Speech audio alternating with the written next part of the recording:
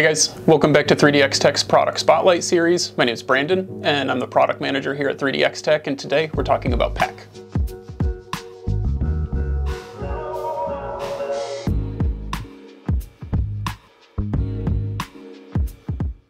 PEKK stands for polyether ketone ketone. It's in the polyaryl ether ketone family, which is the same family as PEEK, but it's far easier to print than PEEK.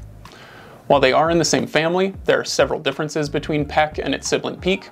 Just to name a few of them, PEKK has a slower rate of crystallization, which is why it works so much better in additive manufacturing than PEEK. If the top layer crystallizes too fast, when you go to lay the next layer on top of it, it won't properly bond, which causes really weak Z-strength. The lower crystallinity also gives PEKK better dimensional stability. The act of crystallization is what causes all this warping and shrinking in PEEK parts. PEKK needs less heat to print compared to PEEK, which opens this material up for a larger base of users since more machines can print PEKK than those machines that can print PEEK. Depending on the rate of crystallinity that you're looking for in your part, PEEK wants a temperature in the chamber ranging from 90 to 200 degrees C, a nozzle temperature of 375 to 450, while PEKK can be processed with a chamber temperature ranging from just 25 degrees Celsius up to 150, and a nozzle temperature between 350 and 380 degrees Celsius. The PEKK we use in our formulation is originally from Arkema. They're one of the world's largest suppliers of PEKK resins. PEKK comes in both semi-crystalline and amorphous variations. When you see PEKK A and PEKK C, this is what that's referring to. PEKK A is amorphous and PEKK C is semi-crystalline.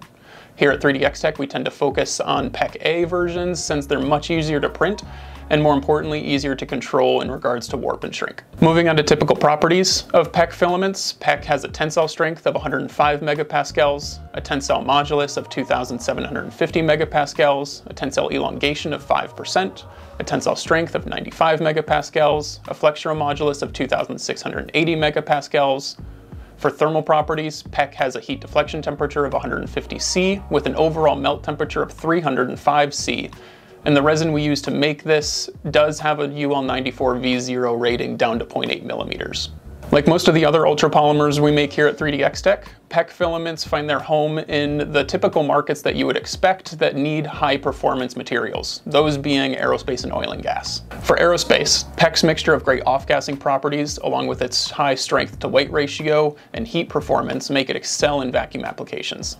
Essentially, if your part's going into outer space, PEKK might be the right material. 3D printed PEKK parts have been approved in space-ready applications by Lockheed Martin, and Boeing has approved PEKK for in-flight parts as well. The oil and gas industry likes PEKK's temperature resistance, but its chemical resistance is where this material really starts to turn heads in this market.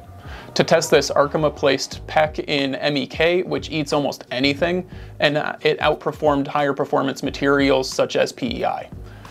PEKK is used in oil and gas for seal rings, flow lines, and choke lines. Overall, PEKK is an ultrapolymer filament that really challenges the paradigm between material properties and being hard to print. If you're looking for a high temperature, high chemical resistant material without having to worry about all of the headache of PEEK, PEKK might be the product for your next project. Thanks for checking out another product spotlight. If you have any questions, feel free to reach out to us at www.3dxtech.com. Until next time, happy printing.